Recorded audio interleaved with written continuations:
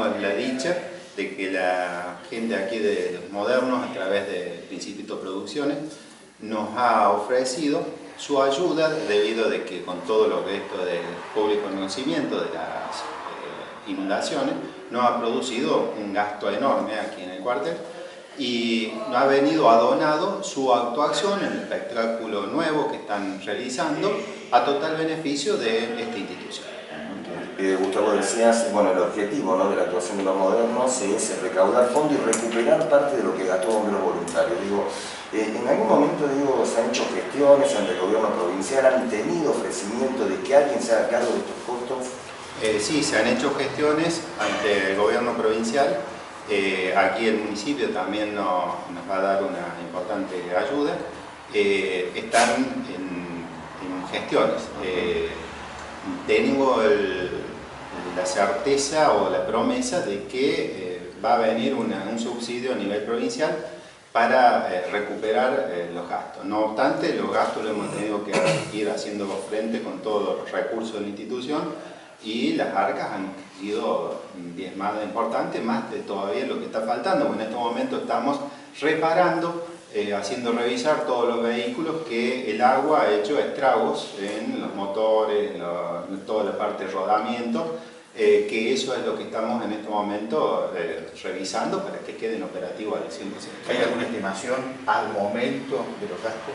Y en este momento llevamos alrededor de 88 mil pesos gastados. solamente faltaría todo lo que es lo, lo nuevo, lo que vendría de la reparación, que nos faltan todavía tres vehículos de los que participaron. Gloria, eh, si bien hay un fondo destinado al manejo del fuego, eh, que quizás bueno, no, no, tiene nada que ver con lo que pasó aquí en la ciudad de Berlín, pero de, ese fondo no se pueden extraer dinero para solventar este tipo de gastos? Mira, eh, no conozco bien cómo es la reglamentación del impuesto al fuego. El impuesto al fuego eh, solamente para la parte de bomberos es un porcentaje menor, alrededor del 10%, 15% viene todo eso. Lo otro está destinado a las distintas secretarías de medio ambiente, a todo lo que es el, lo que es el movimiento que hubo de los basurales, al cielo abierto, es decir, es para todos estos casos ambientales, posiblemente ese dinero vaya a salir o la promesa eh, que tenemos que vaya a salir de ahí. Lo está tramitando Defensa Civil de la provincia. Eh, creemos que por lo que nos dijo Diego Concha, de que es un subsidio de que vendría, ellos nos se harían cargo eh, prácticamente del restante o todo lo que gastamos en gasolina. Exactamente, exactamente eso quería preguntar yo, ¿no? Esa cuenta que se había abierto en Banco Nación para el gasoil. Eh, ¿Finalmente la provincia se va a hacer cargo de eso? Eh, mira, eh, tenemos la promesa.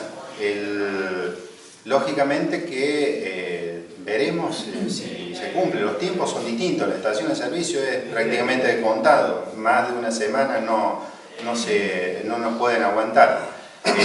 así que esperemos que se pueda.